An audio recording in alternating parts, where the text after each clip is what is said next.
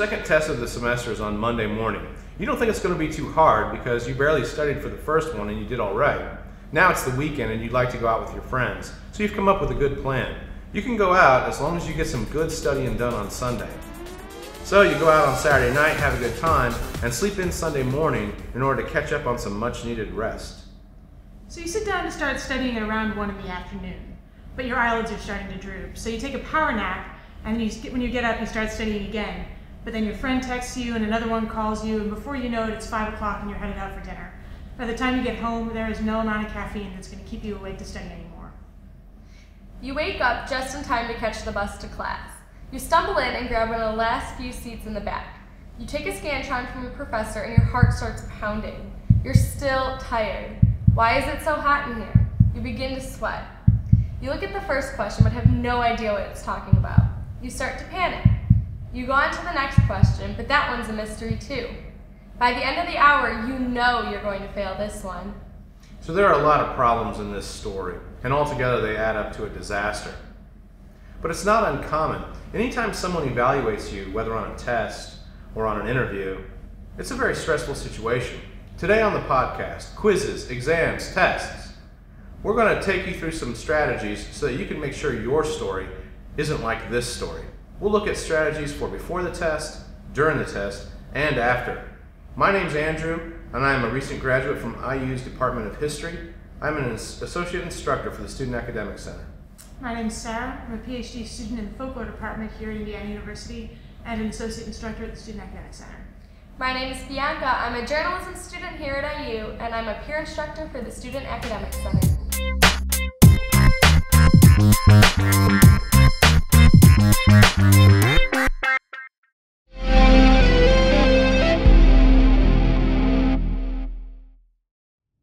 We'll start with preparation before the quiz, test, or exam. To prepare, you need to first make sure you have the best attitude. Next, you need to define and schedule it. Third, you need to study and practice. And finally, you need to take care of yourself. I'm going to turn it back over to Drew, Sarah, and Bianca now. Tell you a little more about that. Step one is attitude. What do you feel and think you know about tests? And what's the point of testing anyway? Tests aren't about memorizing answers, spitting them out, and then forgetting them. That's short term thinking, and it misses the point. What they ought to be about is solidifying your knowledge for the long term. When you think about tests this way, they become an opportunity. That's right, an opportunity to show what you've really learned. I mean, think about every athlete who practices before they step onto the field. All that practice, dedication, and hard work has to translate into real results. A test is the same way. Your preparation and hard work needs to translate into your results. When you think about it this way, it's a way to prove what you've learned and what you know. So when it's test time, really, it's showtime. Right. The more mental sweat you put into really making sure that information is dug into your brain, deep, the better it's going to be anchored in your mind when test time rolls around. So start thinking about tests this way. Who knows? You might even start to enjoy them. Step two is to define it and schedule it. There are a whole host of questions that you need to find out about your test in order to best be prepared for it. For example, what role does your test play in the class? How many points is it worth? And how much of your final grade is dependent upon this test? I mean, you also need to know what's going to be on the test. Is it cumulative or does it only cover the material that's been new since the last exam? How long will you have to take it? What kinds of questions are going to be on this test and how many of each kind? What does your instructor suggest is the best way to practice for it? Now that you've answered these questions, you are ready to make your own study guide. Check out the template on the blog. It's got columns where you can list each concept, skill, or source you need to study, what you need to know about it, what to study to figure that out, and important examples that might accompany it. Fill this out and look it over. Once you've done that, there's a space at the bottom where you can estimate the amount of time you'll need to learn that material. Now that you have your study guide, it's time to schedule it. The important thing to remember here is that it is best to break it up into manageable chunks. Research tells us that the worst type of studying is to try to do it in one large session, or even worse, to try to cram it all in the night before. It can also be really helpful to have a couple of different places where you do your studying. Studies have shown us that our memories are really, really powerfully connected to the place that we were when we first made them. Have you ever had a conversation with somebody and then when you try to remember it later, you find you can remember exactly where you were standing at the time? You can take that same principle and apply it to your studying. When you sit down at test time to try to remember information, it can help to think about where you were at the time you were studying that stuff. So experiment and find a few different study places that work for you. Finally, you should try to vary the type of studying that you're doing within each session. Much like an athlete will have strength training, agility training, and also skill training all in one practice, so too should you have various types of studying in one session. In this way, you'll break up the monotony and also create a deeper impression. So you know what's on the test and you've got a study plan ready to go. Now it's time for step three, actually sitting down, studying, and practicing. It's like professional golfer Jerry Barber said the more I practice, the luckier I get. You've got to work with the material. And to do it well, remember this study in the way you'll be tested. So let's talk question types. We're going to group these into three different levels. Level one includes true false, matching, multiple choice, and fill in the blank. All of these questions ask you to recognize and produce the right answers from among similar choices. What's the best way to study for them? Start with a list of the nouns in your study sheet. That includes people, places, and things like historical periods, events, concepts, and ideas. Drilling with flashcards is a phenomenal way to remember this kind of information. And there are a million different apps and websites, many of them are totally free, that you can use to help with this. Quizlet's a favorite of mine. Or you can keep it simple, grab some index cards and a pen, and just do it that way. And while repetition is useful, sometimes you can go round and round and not feel like things are sinking in. That's where you might want to turn to the concept of elaborative encoding. There are two kinds of elaborative encoding. The first uses mnemonic devices like acronyms. Think H O M E S, HOMES, for America's Five Great Lakes. The second uses linking strategies like the memory palace. This is where you create a space or a story that links together what you're trying to remember. And to make the information more memorable, you twist an image of each item in your mind into something exaggerated, bizarre, or ridiculous, anything that'll make it stand out. This makes it easier to remember later. Let's move on to level two questions, which include identification, definition, and short answer. For the ID and definition questions, you'll need to be able to identify what a term or concept is by explaining to what larger category or grouping it belongs to and what makes it different from other members of that category. Short answer questions will build on this basic knowledge, maybe asking how all these terms fit together, how they compare and contrast, and what they help explain. So, what's the best way to prepare for these questions? You could certainly start by memorizing definitions for the ID questions. Then, for the short answers, sort out your notes on lectures and readings and reorganize them. Use them to create summaries, outlines, timelines, or charts. Anything that'll help you sort information and connect the pieces together into bigger patterns, groups, issues, and questions.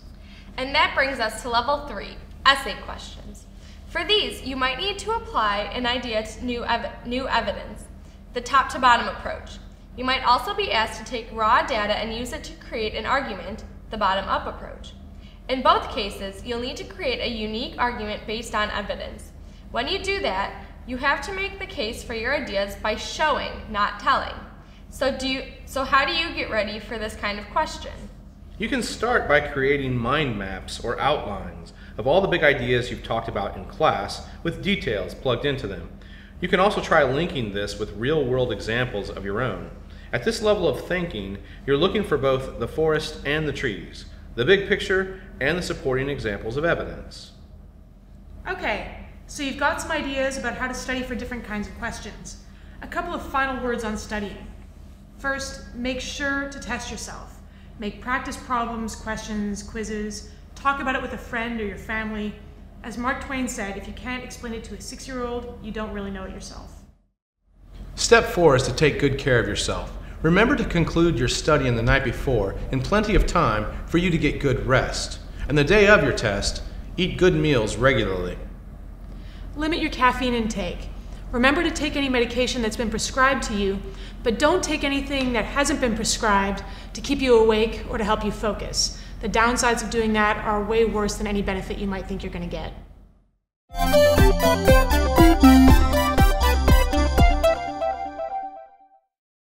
Okay, so we've covered what to do to prepare before your quiz test and exam, so you're ready for that. Now let's turn to your actual performance at test time. To do your best, you need to keep your anxiety in check, use some effective strategies, and do your own work. Let's first talk about test anxiety. Hi, I'm here with Dr. Brad Stepp, a psychologist at the Counseling and Psychological Services Center here at Indiana University. And CAPS is located in uh, the IU Health Center. So, welcome, Dr. Stepp. I appreciate you being with us today. No problem. Thanks for having me. Sure. And we're going to be talking about test anxiety. Yes. Um, so, the basic question I think we need to start with is how do you define test anxiety? What is it and what does it feel like? hmm Test anxiety is usually any uh, negative emotional state or negative physical state associated with a panic response when one is taking an exam. Uh, so, symptoms of that may include racing heartbeat, racing thoughts, uh, sweaty hands, uh, feeling very hot or very cold, things a- along that line. Okay. And when you're not actually taking a test, you know, before you get to your test, Mhm. what are some things you can do to manage test anxiety? So, some things that I have students do that I work with who suffer from test anxiety are regular practice of mindfulness techniques or relaxation techniques, such as progressive muscle relaxation, meditation, visualization exercises, deep breathing techniques. Mm-hmm. Can you talk a little more about mindfulness? What is that exactly? So mindfulness is an area uh, that has a lot of interest, has grown around that area in the field of psychology. So a lot of the studies have shown that it can be quite effective in helping people deal with negative emotional states, anxiety. It helps people alleviate some chronic pain that they may be dealing with. Regular practice of mindfulness techniques has great effects on all of those things. Hmm. You know, one of the things I like about the idea of mindfulness is that it emphasizes this whole um, outside in kind of approach to the Mhm. way the body and the mind work. So that what you're thinking and feeling inside is directly affected by what's happening to you physically as well. Right. I think a lot of times we forget just how connected our mind and body are to one another. So our mind affects the body, and our body affects our mind as well. Mhm. So I agree with you completely. hmm You know, when you're actually in a test, I, I think one of the things that happens to students is this snowball effect. Mm-hmm. So where, um, you know, you start to think about how the test is going, and that Right. affects. Oh, now, oh no, now I'm going to fail the the test. Now that I'm going to fail the class. Now that's going to prevent me from getting into the program or school or graduate school I want Right. to get into. Um, and then it creates this kind of negative feedback loop Mhm, mhm. cycle. It's all part of that cycle, and that's what can make test anxiety so. Uh, so threatening, I feel Mhm. like, and such a big problem for a lot of students is that once we're in that feedback loop or that cycle of that snowball effect that you were speaking of, it's hard to get out of it. Mhm. And those techniques that I mentioned before really helps break that cycle in the moment, which is really important when you're dealing with any form of performance anxiety. Mhm. It's breaking that cycle. Okay.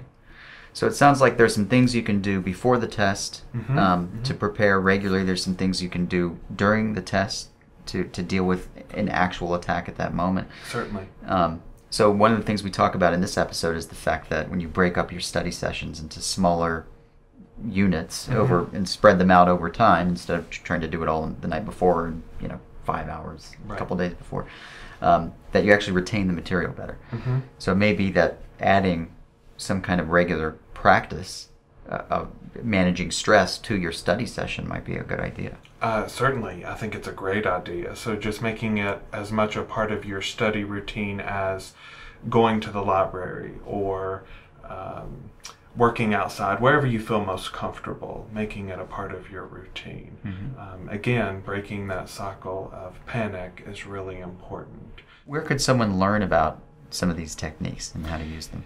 You could go to Google or YouTube, search for relaxation techniques or mindfulness practices. We also offer mindfulness practice sessions here at the Counseling Center on Mhm. a regular basis, and students can call uh, for more information on those uh, if they would like. And those are free to IU students. Great. Great. Great. Well, if there's one idea about test anxiety you'd like students to leave with from this interview, what would that be? Probably that, well, two things. One, it can be treated. I work with students, many students every year who overcome test anxiety. And two, um, you can be prepared. And being prepared not only involves studying for the exam, so you actually know the material, that's a big part of it, but also being prepared by engaging in regular mindfulness or relaxation uh, practice practices.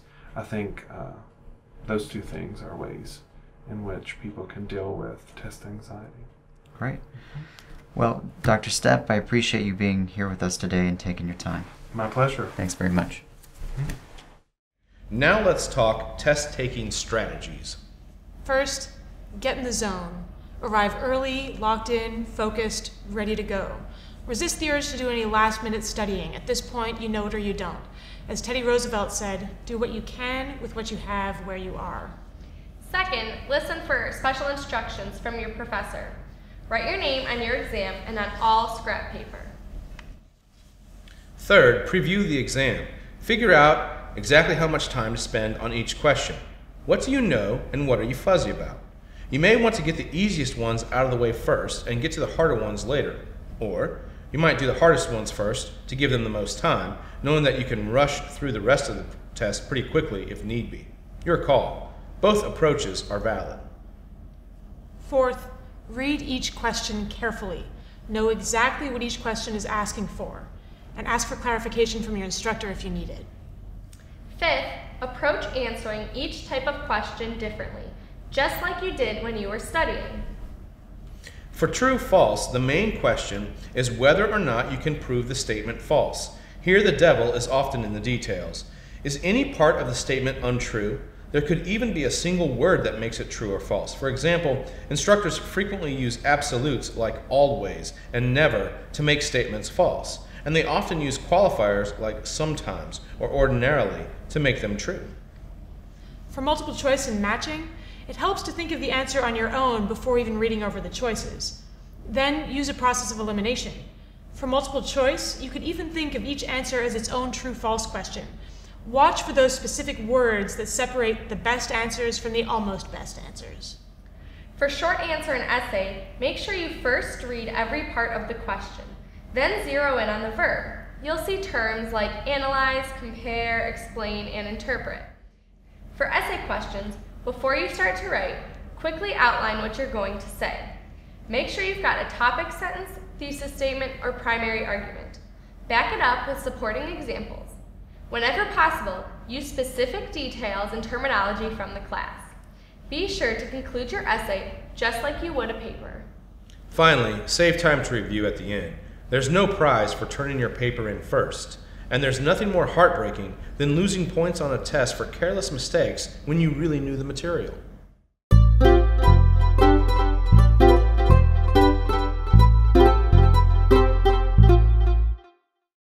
After you get the answers back from your quiz, test, or exam, go over them and correct them.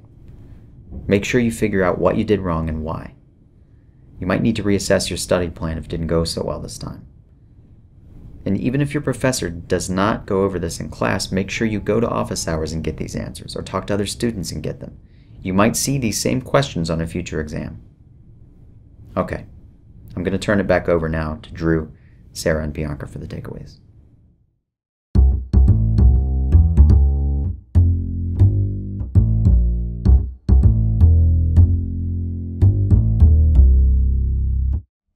So remember, before the test, set yourself up to succeed. Prepare yourself as best you can, find out about the test and all of its details, study generally and also specifically, changing the venue and also changing the amount of time that you're spending doing those studying. Try not to cram, and also take care of yourself. Get plenty of sleep and eat good food. During the test, get control over your anxiety. Have a strategy for each kind of question. After the test, get the right answers and find out what mistakes you made. Now you're ready for next time.